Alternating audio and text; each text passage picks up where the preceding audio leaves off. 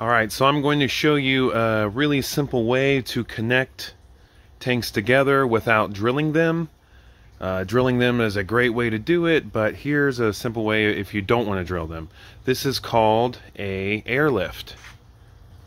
There's a tube, an air stone, the air bubbles are rising up, that's carrying water with it up into here.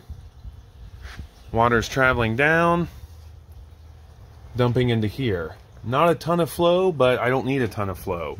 So this is taking water out of this aquarium and putting it into this aquarium. Now let's go to the other side and look at my siphon tubes. Okay, so this is a tube, a siphon tube, here and here. So these two tanks are connected with this uh, U-bend tube. Uh, I've made it out of clear um, I think that's vinyl tubing or, uh, yeah, vinyl maybe. uh, these are some little PVC elbows, barb fitting elbows. So this creates a siphon, and this creates a siphon. So all three of these tanks will be at the same water level.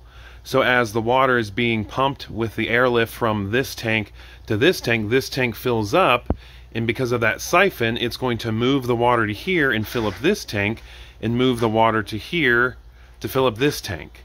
So all these three tanks are kind of circulating together, so they're all connected. Now, why would we want them to be connected? Well, it does increase the water capacity, which means you can increase the bio load, means you can feed a little more if you are uh, in a situation where you're trying to grow something out uh, quickly. It also, if I put a heater, see that heater in that tank?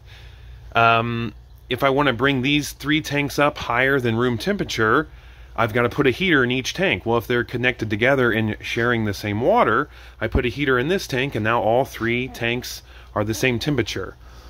Uh, you can accomplish this by drilling the tanks, but then you have to have those draining into some kind of sump, then a sump coming back up and filling each tank back up.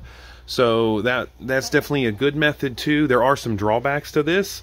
Uh, if a siphon becomes clogged or you lose the siphon, then you still have water filling this tank and you could have an overflow. Um, I put little strainers on the tubes here uh, because the water is being pulled this direction. I didn't want stuff getting blocking that, uh, getting stuck in there. But as you can see, snails are inside of there, which is definitely a problem because they can get up in this tube and clog that up. So I need to put a strainer on the inlet and the outlet as well.